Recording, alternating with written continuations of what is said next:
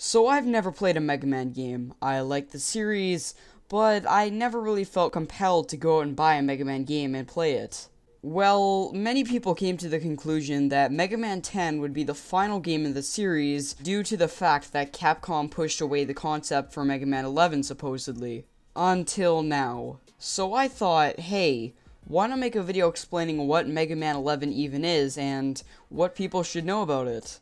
Alright, so here's the big stuff that I probably should mention first about Mega Man 11. The game will launch in late 2018. I don't know an exact date yet, but what's interesting about that release date is that Mega Man will turn 30 next year on December 18th to be exact. And Capcom confirmed in their hashtag Mega Man 30 anniversary livestream on Twitch that Capcom is making this game just to give a little tribute to fans for Mega Man turning 30. Mega Man 11 will launch for the PC, PS4, Xbox One, and the Nintendo Switch. I want to focus on the Nintendo Switch for a second here, because with this new flagship Mega Man game coming to the Switch, it really does say something about the console's third-party state right now. So maybe this proves that Capcom is going to be releasing even more games on the Nintendo Switch? So that's all the main stuff. Now I'm going to go into the more smaller bits that you probably should know anyway. Mega Man 11 was originally leaked in the Mega Man Legacy Collection 2, which launched back on August 8th of this year. Basically, these two pictures were found inside of the Mega Man Museum in Legacy 2,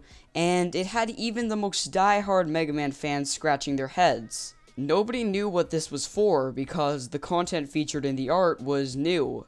Now we know what that art was for with the announcement of Mega Man 11 today. Something that was actually a different move by Capcom was actually the art style of the game. It's got a hand-drawn feel to it, which definitely makes it stand out from a lot of other games today. Mega Man 11's trailer features some of the game's OST, and while it's not the best thing I've ever heard, it's still a good soundtrack, and I'm sure Mega Man fans are gonna enjoy it.